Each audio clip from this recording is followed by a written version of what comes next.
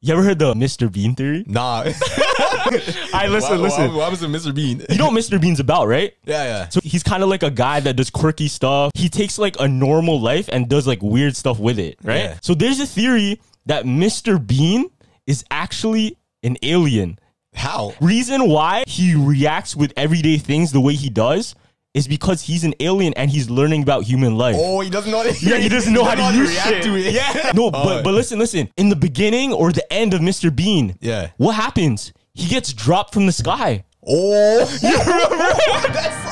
With the light, with the light, and he gets dropped onto the floor. yeah, yeah, yeah, yeah. When we first saw that, we just like passed off, like, oh, what is that? was Right? But if you think about it, that means he's an alien, bro. He got dropped off here. And the reason he's reacting with all these different things weirdly is because he actually doesn't know what these things He are. doesn't know. And what if Oh, there's more to this?